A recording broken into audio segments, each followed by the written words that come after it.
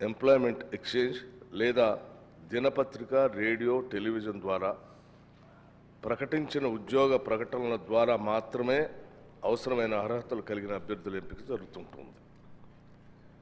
ఈ నిబంధనలకు కారుణ్య నియామకాలు మరియు తీవ్రవాదుల హింసలో మరణించిన వారి కుటుంబాల వారసుల నియామకాలకు మినహాయింపులు ఉన్నాయి. మన రాష్ట్రానికి చెందిన బాక్సర్ అయిన కుమారి నిఖత్ జరీన్ అంతర్జాతీయ బాక్సింగ్ అసోసియేషన్ ఐబీఏ మహిళల ప్రపంచ boxing championship Istanbul two thousand twenty two మరియు కొత్త ఢిల్లీ రెండు వేల ఇరవై మూడులో రెండుసార్లు ప్రపంచ ఛాంపియన్ స్వర్ణ పథకంలో సాధించింది. ఇది కాక ఆమె పదకొండు అంతర్జాతీయ ఏడు జాతీయ పథకములను మరియు మూడు పర్యాయంలో ఉత్తమ బాక్సర్ అవార్డులు సాధించింది.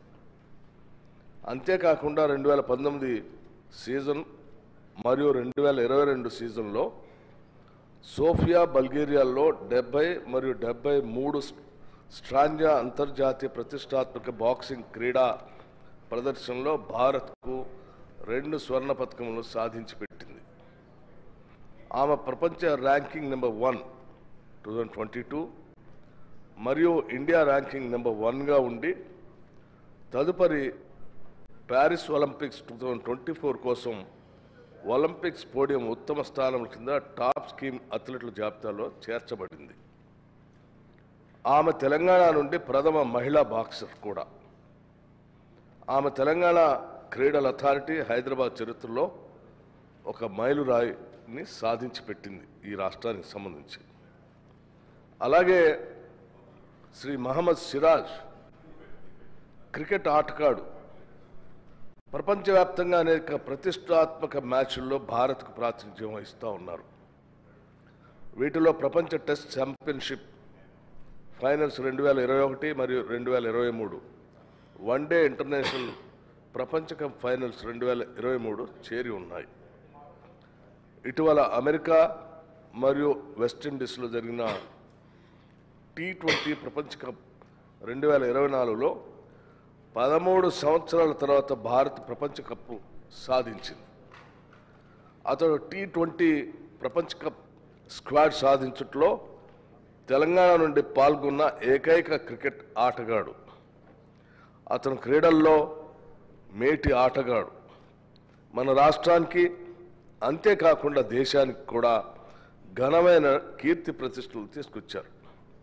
అందువల్ల వారి యొక్క ఉత్తమమైన ప్రదర్శనను ప్రోత్సహిస్తూ రాష్ట్రంలో గ్రూప్ వన్ సర్వీసుల కింద డిఎస్పి పదవిలో సదరు క్రీడాకారులకు ఉద్యోగం కల్పించటకే తేదీ ఒకటి ఎనిమిది రెండు వేల ఇరవై నాలుగున జరిగిన మంత్రిమండలి సమావేశంలో resolution number ninety three by two thousand twenty four ద్వారా తీర్మానించడం జరిగింది.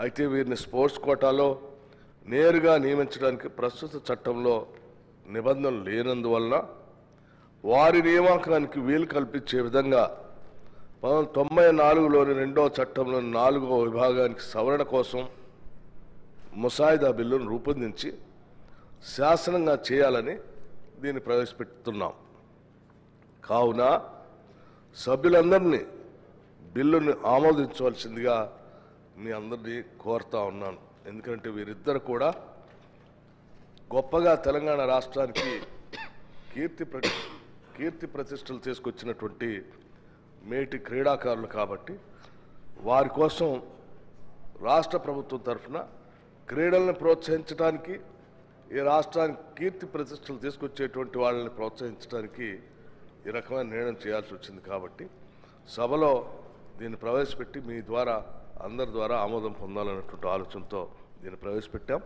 సభ్యులు కూడా అందరూ వీళ్ళ ప్రోత్సహించడానికి మనస్ఫూర్తిగా దీవించి బిల్లుని త్వరగా అందరూ ఆమోదిస్తారని నేను ఆశిస్తూ ఉన్నాను. Thank you